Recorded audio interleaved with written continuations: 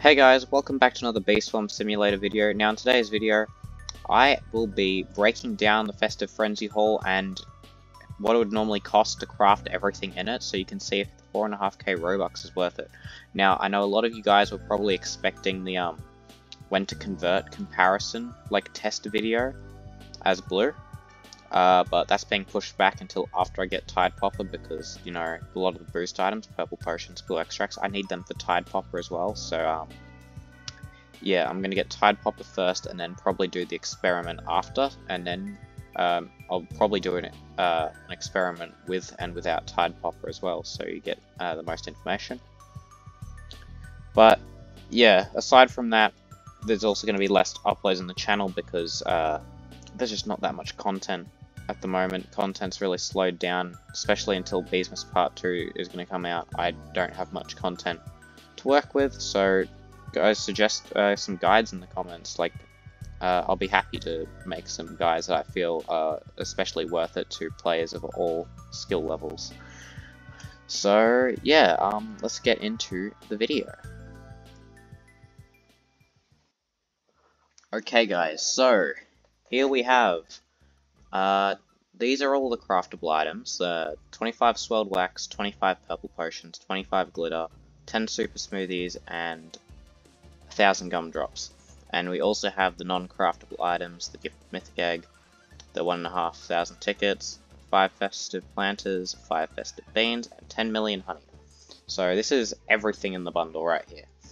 Now, um, so first of all, got 25 swirled wax. That ends up becoming 150 purple potions, 225 soft wax, 75 hard wax, and 83,325 royal jelly.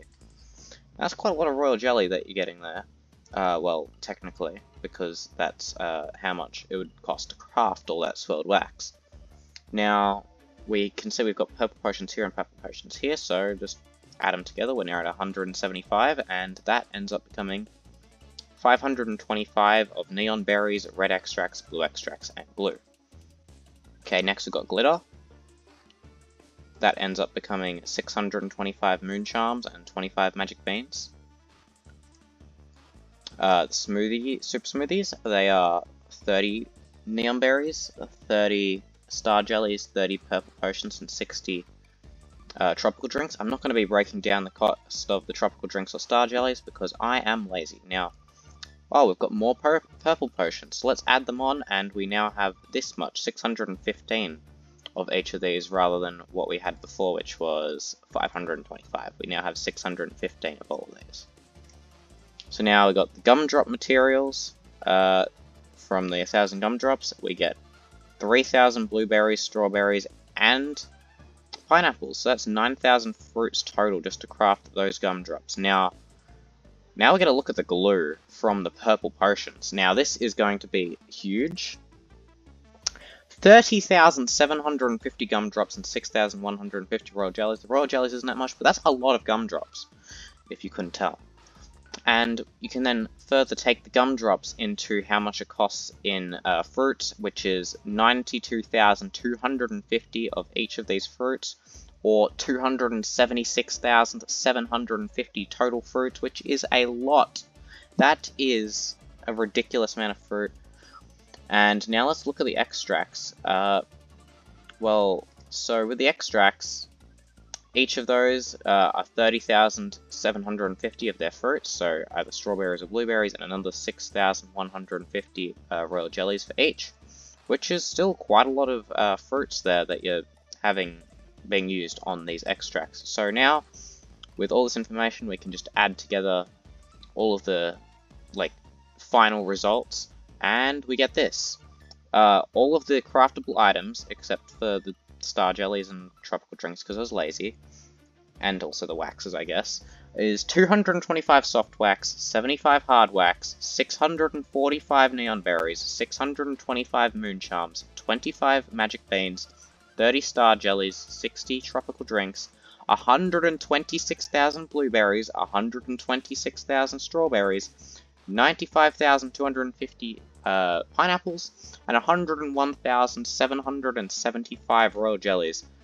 plus all of these other items, which is the gifted mythic egg, one and a half thousand tickets, five festive planters, five festive beans, and 10 million honey. So, if that's not a bang for your buck for four and a half thousand Robux, I don't know what is. This is an amazing bundle. It is definitely worth it, and especially for some mid-game players who don't mind uh, using a bit of their maybe Christmas money, because this is Beesmas. They might have some Christmas money left over, and they really, really want to invest it on Bee Swarm. Uh, could get a gifted mythic, which is it could be quite useful because a lot of the gifted mythic abilities, well, at least Fuzzy Bee and Precise Bee and Buoyant Bee as well, actually, uh, making way more use out of a single Buoyant Bee. Uh, they're, they're pretty they're pretty good for a just to stick in your hive. Not gonna lie. So yeah, I believe this bundle is definitely worth it, and if you want guys want to see me break down more bundles and make my uh, brain sore just from having to do mindless calculations. They're not hard calculations, they're really, really easy. It just takes a long time because there's so many like multiplication uh, sums that I have to do. Even though I'm using a calculator, it's still annoying.